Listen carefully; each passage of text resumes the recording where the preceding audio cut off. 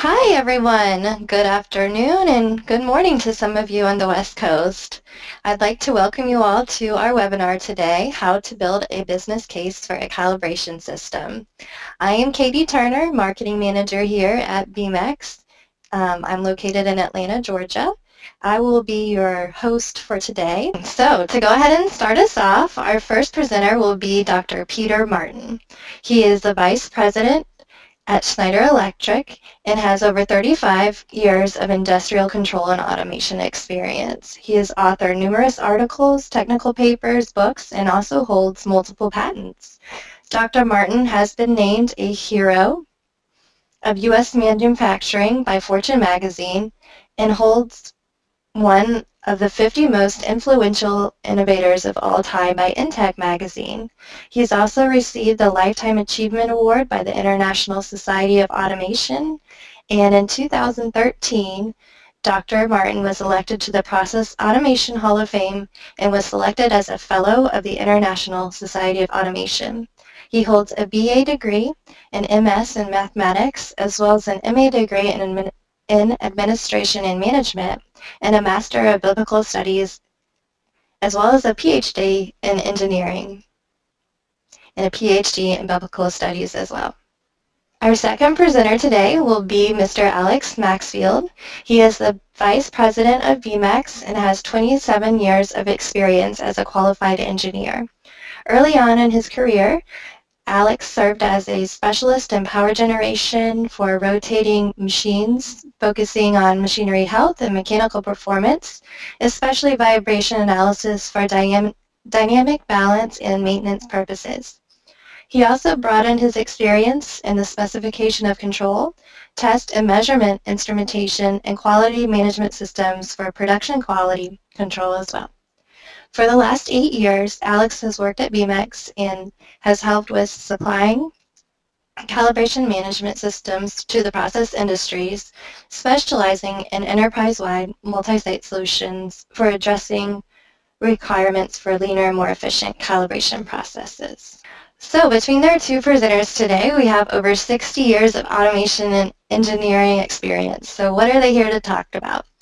Dr. Peter Martin will begin by setting the Foundation talking about the value of automation and he'll discuss a capital value model, automation versus control. And then he'll hand it over to Alex who will give us a definition of a business case and you know how to create one and what those steps might be. So I'd like to go ahead and hand it over to Peter to take it from here. Thank you, Katie. I appreciate it. It's great to be with you all today. I, I really uh, appreciate the opportunity to talk to you. You know, the value of automation is a subject that's near and dear to my heart, and perhaps the reason is I'm pretty old.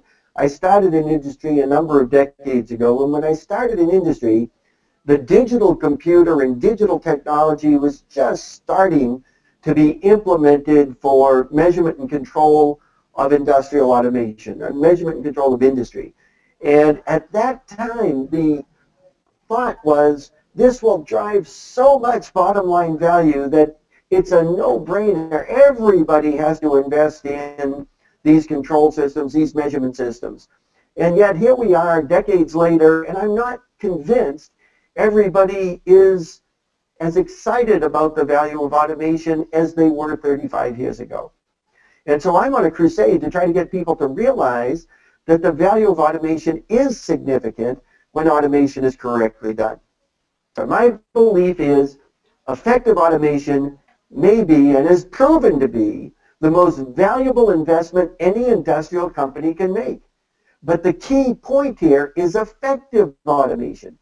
An awful lot of the automation being done today, honestly speaking, doesn't drive the value it could or it should because it's not being effectively done. And we have to take a look at why this might be why we're dropping short of the expectations, and how we can turn this around. So when we look at automation, it's important that we look at it from the perspective of the capital budget cycle. In terms of the capital budget cycle, there's a model that people follow when they're investing in automation and other capital equipment that's critically important. The model is based on the concept of a return on investment or some other similar statistic, whether it's net present value or IRR. They're all statistically similar. And the concept is when, a, when an industrial company invests in automation, they, there's a cost to that investment. The bar chart along the bottom of this uh, graphic represents the cost of automation. Price is only part of the cost of automation. There's also engineering, installation, implementation, and the ongoing operational cost of an automation system. And as you see the bar chart, as a system or an automation investment gets toward the end of its life cycle, the cost starts to creep up. That's because of spare parts, perhaps additional training that's required, whatever it may be. So we have on one side the cost of automation. In theory, if a client invests in automation, there's a, a benefit that goes along with it. There's some value that the client's getting, financial value that the client's getting in terms of economic benefit driven to the bottom line. Return on investment essentially is the integral of the benefit subtract the integral of the cost. And most businesses measure return on investment only up until the point in time that the investment is paid off.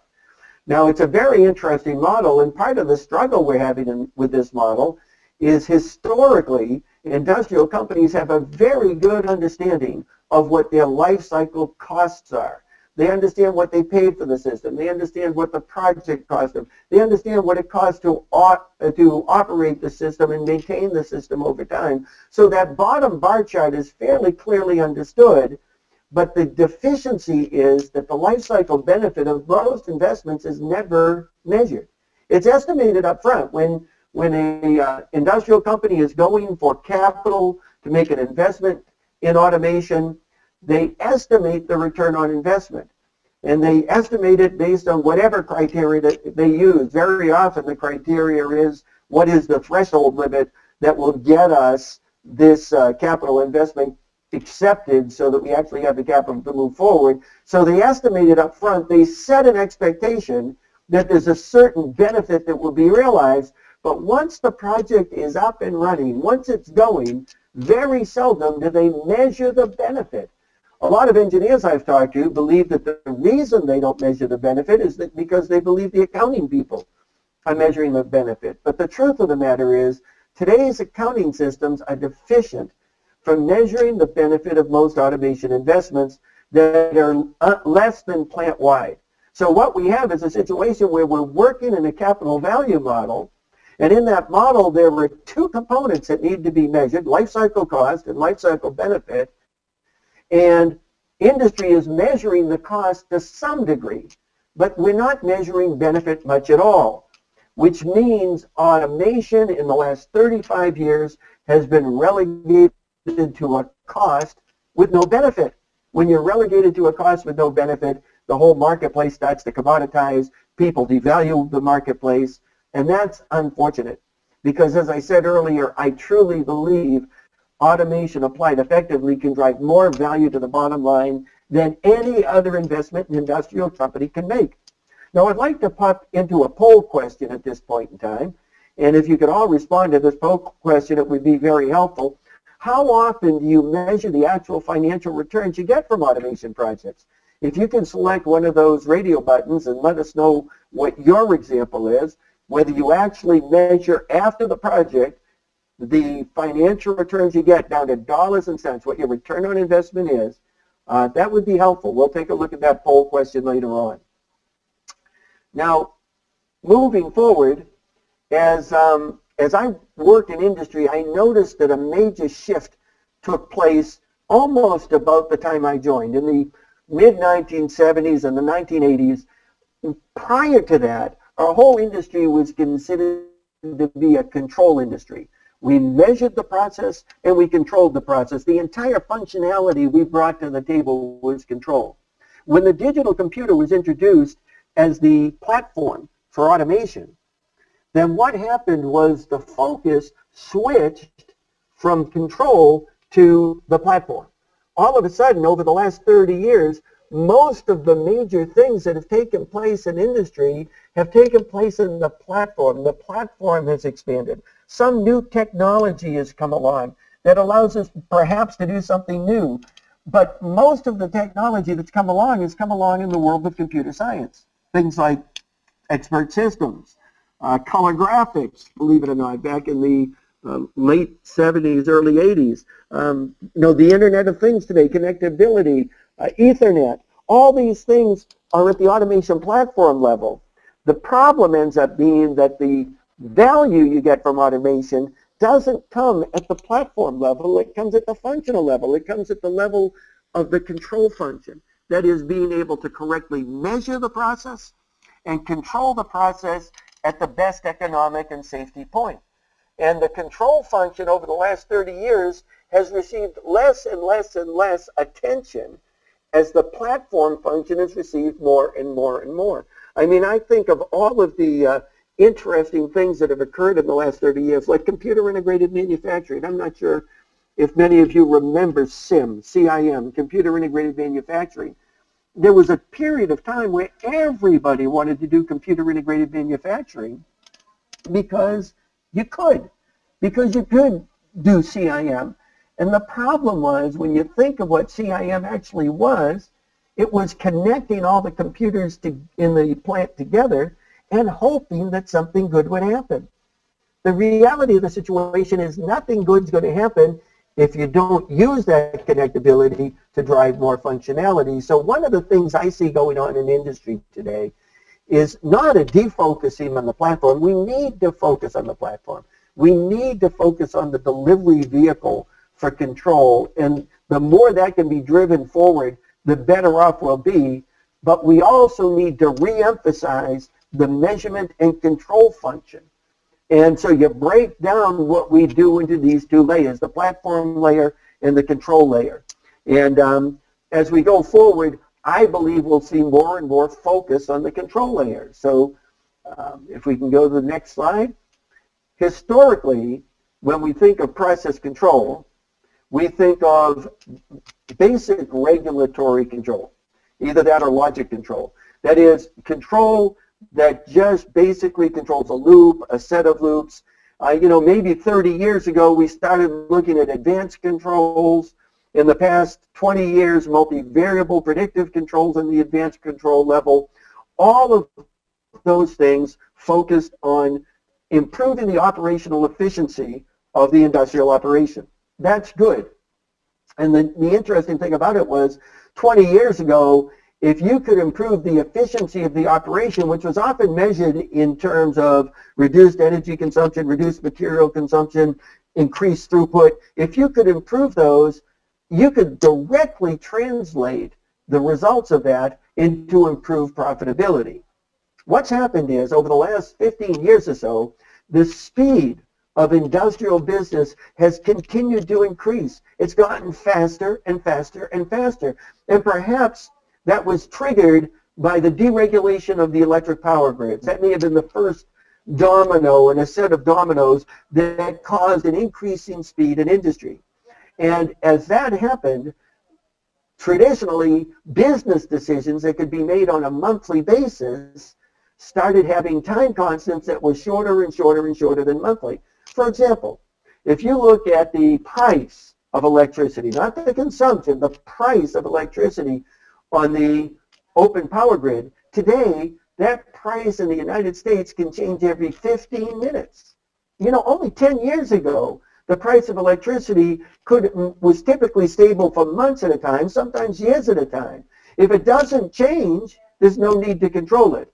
As the price of electricity became more and more dynamic and started to become more and more uh, frequent, all of a sudden monthly business management became insufficient for controlling profitability. By the way, the same is true for natural gas. Today in the United States on the open natural gas grid, the price of natural gas changes every 15 minutes. And many raw materials. If you've ever watched a base metals um, financial ticker, you'll notice that the price of copper can change multiple times every minute all of a sudden the business of industry has gone from being monthly or longer to being real time. You're having some real time connotation. So all of a sudden we have to start thinking about how to deal with the profitability of industrial operations differently. Rather than being managing profitability, maybe we have to apply real-time control theory to profitability.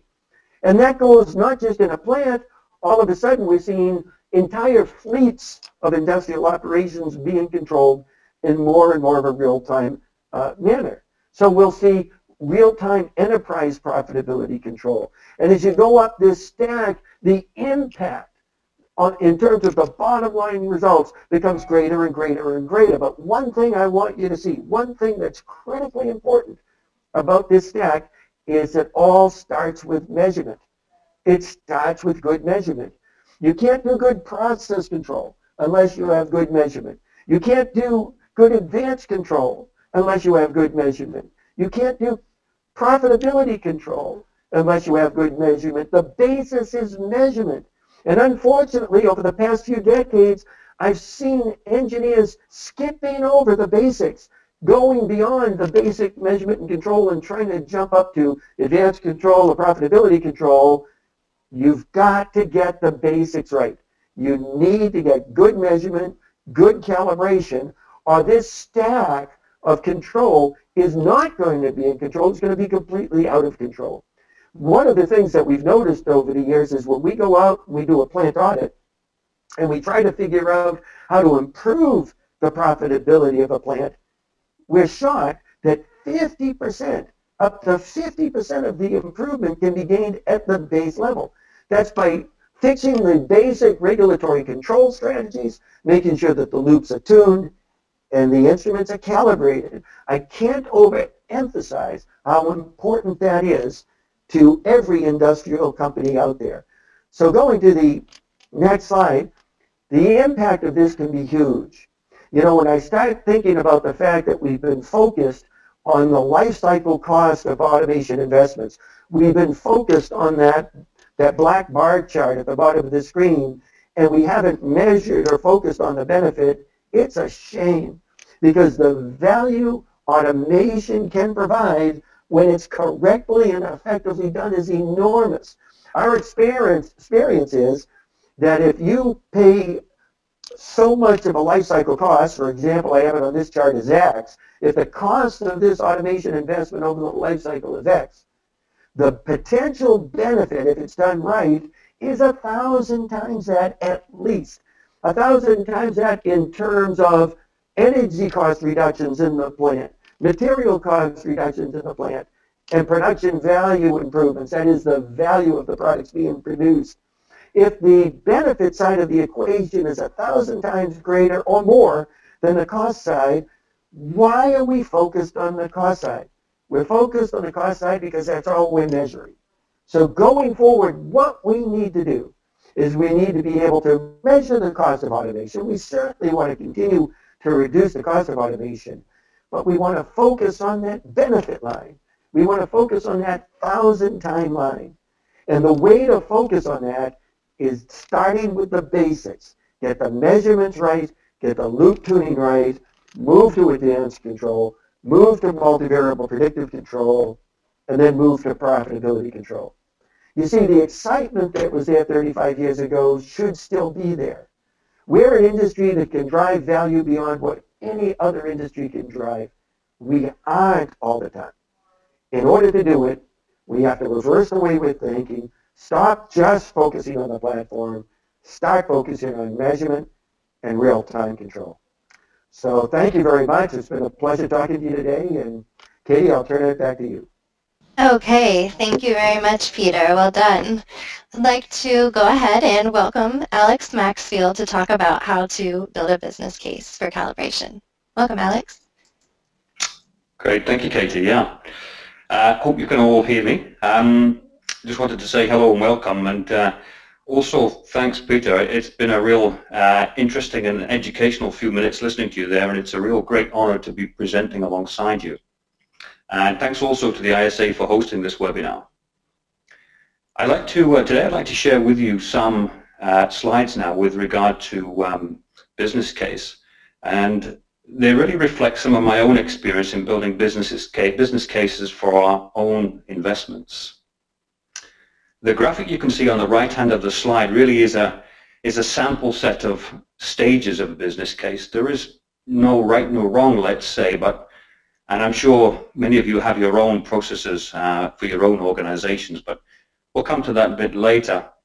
Um, I'd also like to reflect on the word case uh, in the phrase business case because I think that's also extremely important because generally here we're going to be making a case for change. Okay, so let's start with a definition. You can see here on the first bullet point that we're defining a business case uh, as, uh, as, stated there, but it's also, I think, worth, worth uh, adding here um, that we can also say that a business case captures the reasoning for initiating a project and the details of how resources are to be consumed. Um, and those resources really should be in support of a specific business need. Um, essentially, the business case asks, what happens if we take this or that action? And the business case should also answer in business terms, reflecting business cost, business benefits, and business risks. It's also incredibly important to consider the reason for initiating the business case. And I'm going to touch on that further on the next slide. Later in the presentation, we'll also look at quantifiable and non-quantifiable characteristics of a project and learn that sometimes it's not possible, not always possible or even always necessary to quantify all items in absolute measures of dollars and cents. Reflecting the third bullet point here, um, I think it's also uh, sometimes an overlooked point, but it's also very important to consider uh, why to change at all. Um, it might be that today's solution uh, either meets or doesn't meet today's needs, but in any case, today's solution is a really good benchmark. And any business case should show a reason to move forward. If we're looking at Peter's uh, 1,000 times investment return, then we need to show a compelling reason to move forward with that. Finally, the bullet point here on, on the first slide here is, um, I think also quite an often commonly overlooked stage in the process. And that's a wrap-up session after project is completed. Of course, if the project performs badly, quite often there is a kind of post-mortem um, and, and lots of things are investigated. But sometimes if it goes well, then well, you know, sometimes we're just so busy congratulating ourselves that we forget to review the detail and we miss really vital learning opportunities. Um, of course, today's webinar is about a business case for a calibration solution. So in the context of this webinar, a solution is going to be something that addresses the organization's need to plan, complete, and document instrument calibrations. I think also it's good to mention at this point that that solution may also include the implementation of computer software of some type. And of course that solution may or should make these calibration tasks more efficient and also, if we get it right, can provide data for analysis to show that the project has met its goals. Uh, but sometimes a business case for software in particular can bring additional challenges in that you may have additional decision makers in the process, such as the IT department. Anyway, as, as we said before, the purpose of a business case will usually address some kind of business need. And I'm going to focus here on some hard cases, some hard business needs. Uh, I have a few there listed that I'd like to expand upon. First one here being technology. Um, it could be that your existing calibration solution today uh, lacks capability when looking at your own organization's instrument or control technology roadmap. It could be that that roadmap includes new types of communication systems, field bus, foundational field bus, or wireless, and, and today's calibration solution does not address those needs. Equally, from an efficiency point of view, it could be that today's solution does not meet your organization's goals of reducing time or saving cost. If we take a look and think about procedures, of course, um, it could be that today's solution is not best placed to support your organization's goals of business reprocessing, procedural harmonization, or simplification. As we mentioned also earlier with regard to business case for software, it's IT here can be a really important stakeholder. And it could be that today's system also does not meet the IT department's idea of a system that can be supported by their standard process. Finally, that last bullet there on regulation and legislation is probably one of the most uh, important drivers for change. And it could be that today's system is somehow failing to meet those business critical requirements of legislation, be those ISO standards or EPA emission standards, uh, could be FDA if you're pharmaceutical or life science related, uh, 21 CFR Part 11. Which brings me on to an interesting point also that although it's not listed there, a hard business need that some people talk about is to go paperless, paperless calibration. And of course, that's um, that's an interesting aim. Um, it should not be recorded as a nice to have because a paperless approach really goes right across all of those business needs above, technology, efficiency, procedural, IT support, and also regulation. Okay, so let's take another look at the stages of business case that we presented on the first slide. I have the first bullet strategy, and of course, you know, really everything inside an organization should how should somehow be uh, looking and starting with organization strategy, uh, mission, and vision. And it's important when we're setting out the goals of our project, and these being detailed inside the business case, to make sure that those goals are at least we try to align them with our company strategy um, or even initiative. Um, an interesting side point on that is that quite often inside organizations there is budget associated with an identified strategy or initiative and it could be that unlocking that budget if your project is aligned to that initiative or strategy could be a, a good step um, some of those might not be, some of those initiatives, of course, might not be calibration related. They could be associated with lean manufacturing or even lean maintenance.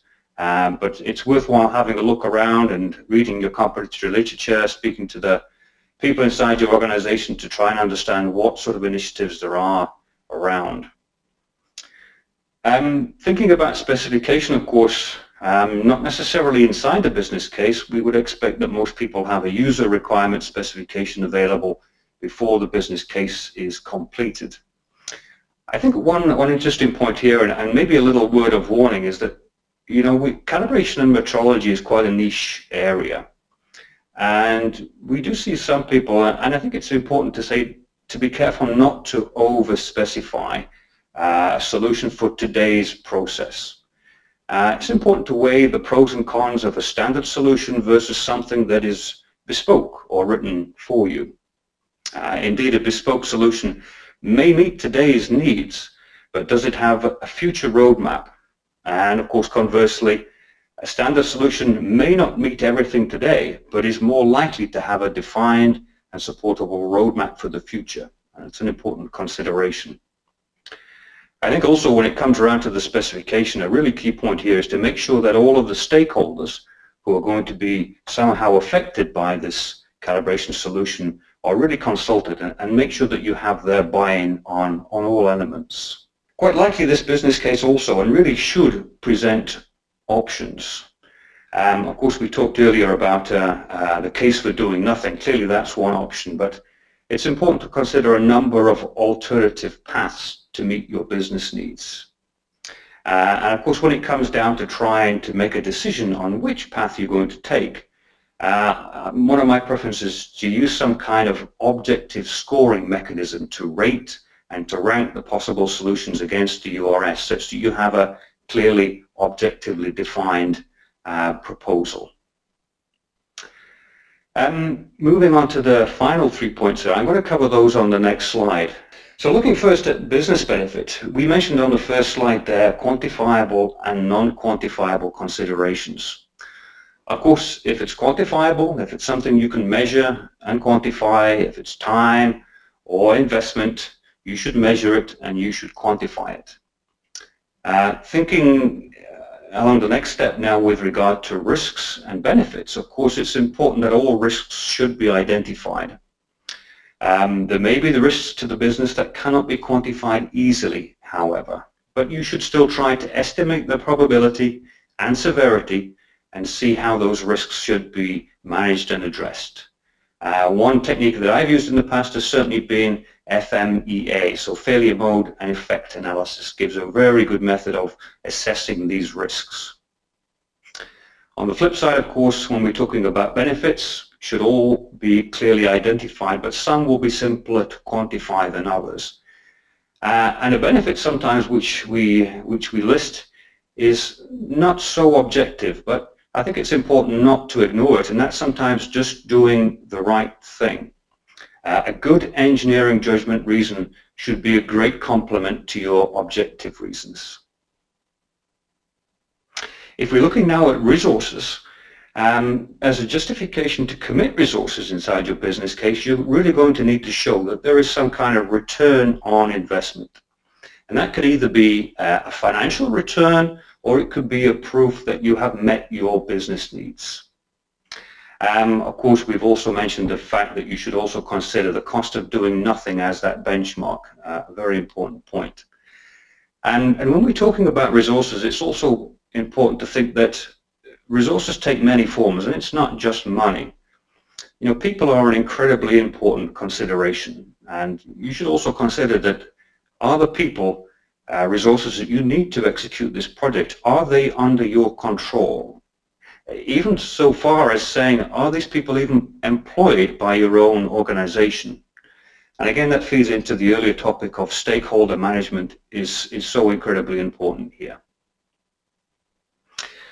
Thinking about the, the longer term also from a life cycle point of view, you know, often there is such a great pressure for return on investment in a very short period of time.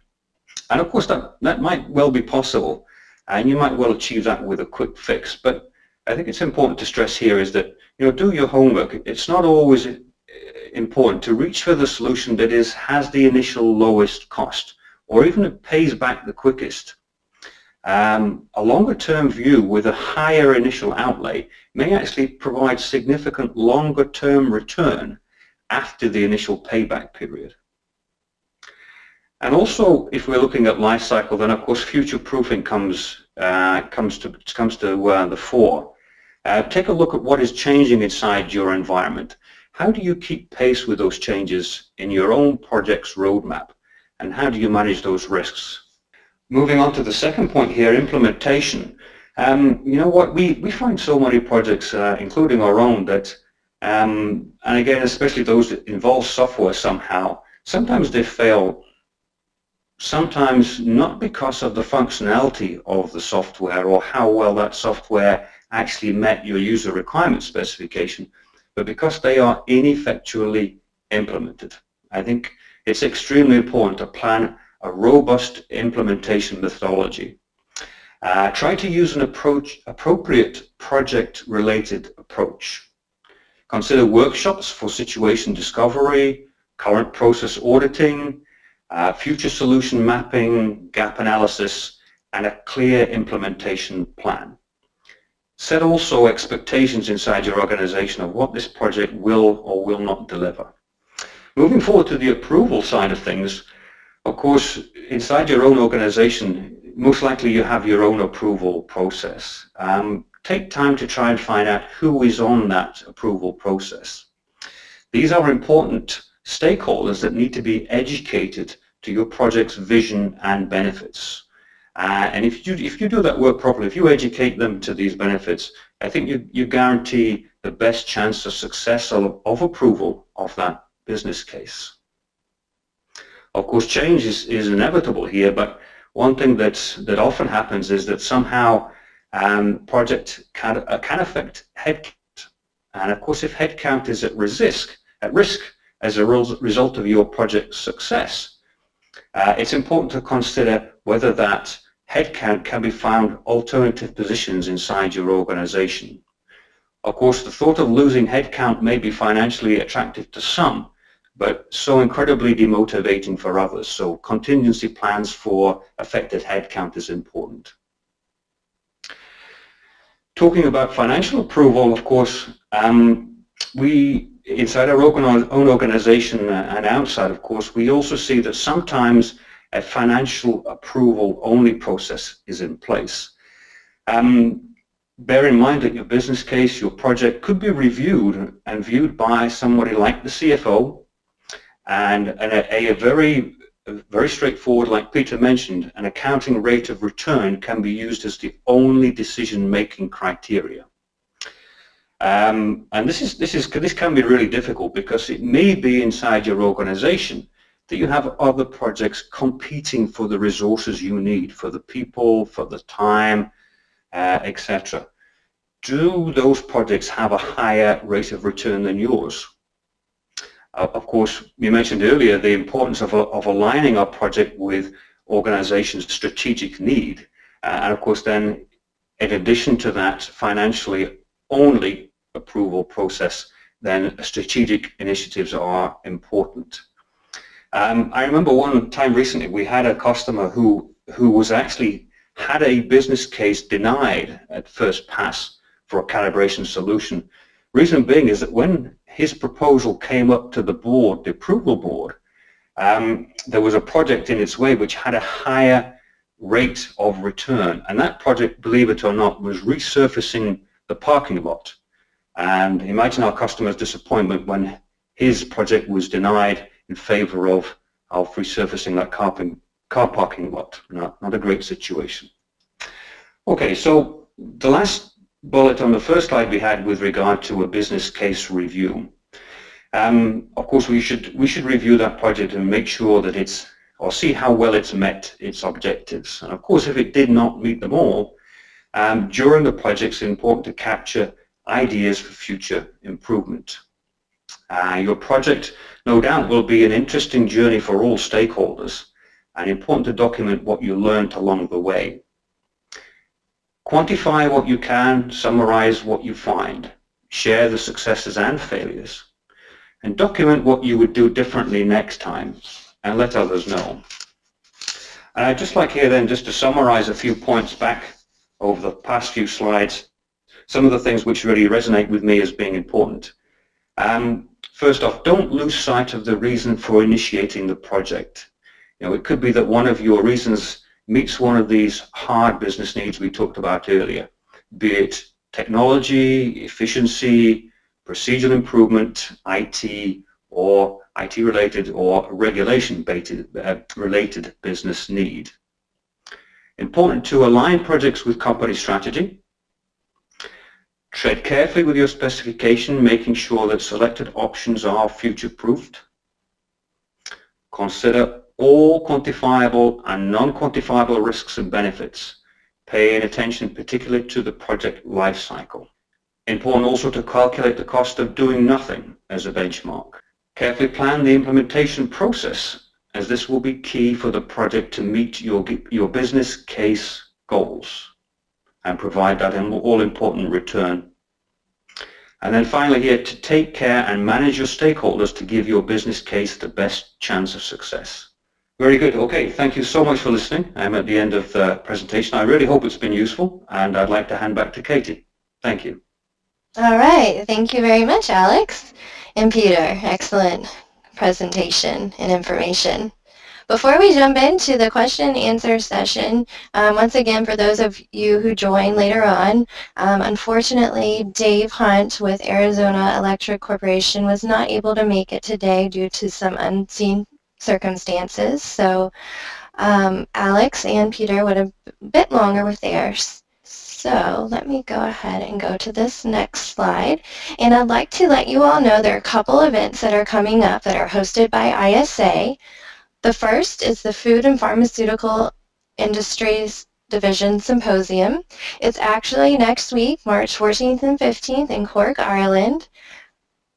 Peter Martin will be the keynote speaker at that event, so if you'd like to meet Peter in person, we encourage you to attend. The second event is the Power ID Industry Symposium, POW ID, that will be in June later on this year in North Carolina. And Beamex is the platinum sponsor for that event. After Peter Martin's a recent book that was published, value of automation, the best investment an industrial company can make. And we do encourage you to um, visit isa.org and you can type into the search box the value of automation and the book could come up. And um, Peter wanted me to mention that he would like you to purchase a copy so he can buy some Christmas presents for his grandchildren this year. All right, next, um, next and final thing is uh, we'd like you all to save the date for two events that are coming up later this year. They are going to be co-hosted by ISA and Beamex. The first is actually a technical conference for technicians that are working and performing calibrations out in the field. That will be on August 18th in Houston, Texas, and it's going to be a very hands-on event. It's not going to only be presentations, but a lot of um, calibration competitions, who can calibrate, you know, a switch the fastest, and um, a lot of interactive activities with that. On October 12th, at ISA headquarters in Research Triangle Park, we will have a strategic type of event that will be formulated for management and executives to come and learn, you know, how they can shorten plant downtime or how to integrate um, automation systems. And there will actually be an interactive plant improvement exercise with that. So be on the lookout for an official announcement that those events are coming up later this year. Okay, and with that, I'd like to remind you all very quickly how you can ask questions. You can type them into the question box on the side of your GoToWebinar nav bar, or you can also raise your hand. Um, we do have everyone muted right now, but if we see your hand raised, we can call on you and unmute you so you can ask your question to the presenter and um, interact in that format. First question, any studies in the life cycle cost benefits in a heavy industrial chemical complex? Also, is there any data on the average percentage of automation costs compared to the total installed cost? All right, well, I'm assuming that's for me, so I'll, I'll take a shot at it. Um, I've never seen formal studies done that have been published on the actual benefit to cost ratio in Uh, heavy process industries. On the other hand, I've been involved in a number of them where we've gone in and we put in the real-time accounting models so that we can actually measure the benefit side of the equation. And the interesting thing is it depends on where you're starting. But if you, you know, I'll just give you one example. If you're just starting with an installed automation system and just trying to take advantage of the capability that's already in the, in the automation system by putting performance measures in, calibrating your instruments, tuning your loops, you know, getting yourself back to the, getting the basics done and getting moving, we're finding the average 100% return on investment in heavy process plants comes in at about three months.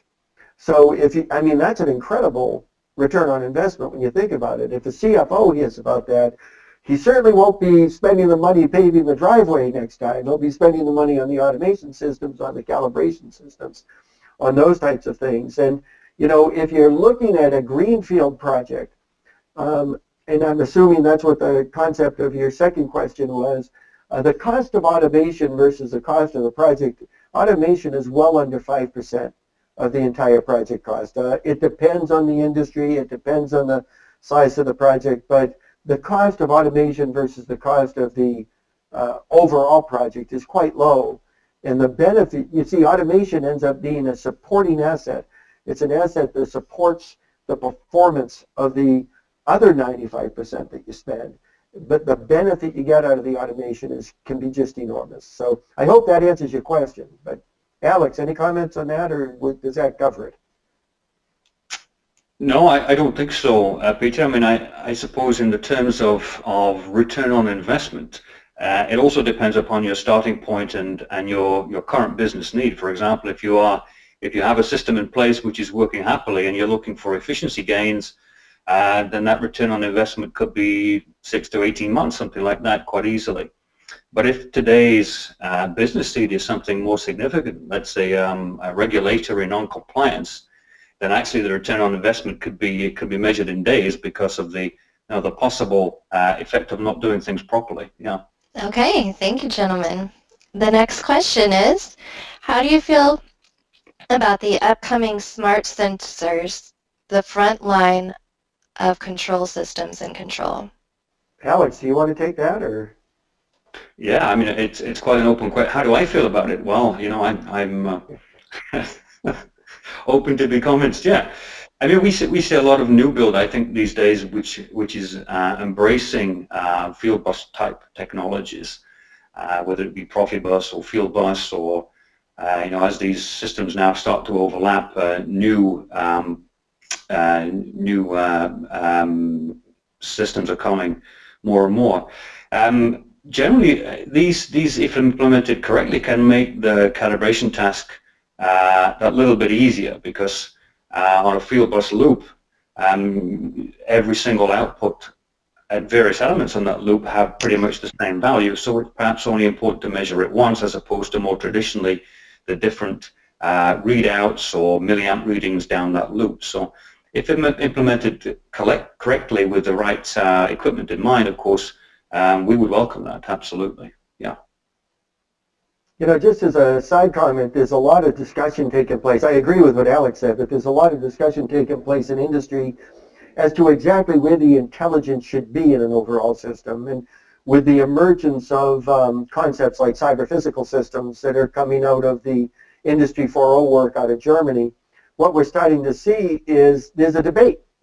Do you put the intelligence in the individual sensor, or do you put it in a cyber physical package with multiple sensors?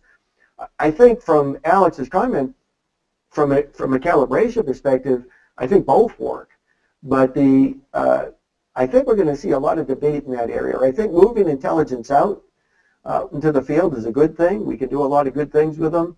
Exactly where you place the intelligence, uh, that's something that I think is getting a lot of discussion in industry right now. So we'll see how it all pans out. Very good. There was a follow-up question to that. Do you guys have any case histories in the chemical process industries or examples that you could share? Of, of smart instruments or in general? It seems to be in relation to the smart instruments question. Could be, I suppose it could be payback related to the implementation of smart instruments, something like that. Could be. Yeah. Um, Mohammed, if you're out there, if you could clarify that question for us, we would appreciate it. Okay it might also be, Katie, something that we take offline. I mean, it's, it is quite a complicated uh, subject one, and if we're trying to share those, uh, that sort of um, experience, it could take quite a while. Absolutely. The presenters' emails are up on the screen if anyone would like to email them with any follow-up questions, or Mohammed, if you would like to contact them directly as well. Our next question is how open slash standardized are the protocols between various brands of documenting calibrators and software? I, uh, I think that's also a um, perhaps not a question for the context of this webinar with regard to business case. Uh, again, if it's a question directed at Beamex, um, if you contact me um, directly on the email address shown, I'd be happy to try and answer that one separately. Okay, very good. This next question is for Alex.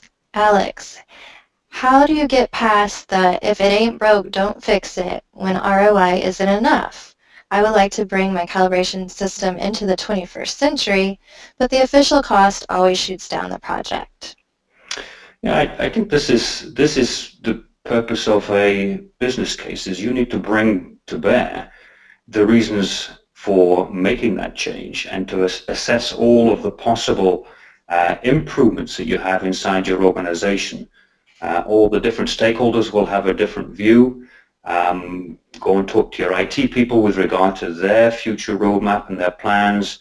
The control system people understand what their plans are. Uh, make sure that you can find some really good hard hooks to hand to hang this uh, future solution on. If, if, things are changing inside the environment that at some point are going to leave you with a gap, uh, then you're really going to have a bigger gap at that stage with a bigger cost to fill. It's important to try and align uh, your, your current situation and your idea of a project on what's going to happen in the future. Uh, we also have, we also have, again, this is, you know, maybe, I don't know if it's for this webinar or not, but we, as a company, also have a lot of experience in helping people to try and understand um, through the process of auditing and, and, and business reprocessing what can actually be achieved by changing the calibration business process and looking at real savings in terms of time and money as a result of implementing systems. So again, it's something which is quite a complex question, but um, be happy to be contacted after this to to provide some insight, yes. Not an easy answer, I must admit, yeah. Okay, very good. Thank you. The next question is, does Peter realize that his backdrop is calibrated perfectly for the magnitude of his ability to motivate? Peter? well, I just happened to be strolling through London and thought I'd stop and start a webcast. Here we are. This is good. notice, notice how the two vertical holes here completely frame my head. That's an amazing thing. But, but thank you. That's a foggy London, just how I remember it. Yeah. Yeah. okay, so um, someone is asking if we could get a copy of the slides, and yes, absolutely. Everyone that has attended this webinar will receive a copy of the slides. I will be emailing those later on this week. Okay, next question. What are the major problems facing um, sorry, with new technology. Major problems facing. There probably is a word missing there. Uh, major problems facing building a business case. Could you clarify that one, Jamie? All right, we'll give you just a minute. Let's just do a quick check to see if anyone has their hand raised. If they'd like to ask a question verbally, once again, you can raise your hand at this time we will call out your name and unmute you. So you do need to have um, microphone capability on your computer or be dialed in.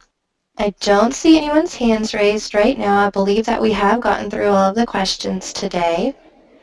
So I know everyone is very busy. Not to take up any more time, I'd like to go ahead and conclude this webinar and thank you all so much for attending and once again for Alex and Peter for their um, invaluable information and presentations. And one final request is that you guys do fill out the survey that will come up on your browser at the end of this webinar, and we'd love to hear your suggestions for the next topic. And thank you all very much. Have a great week. Bye-bye.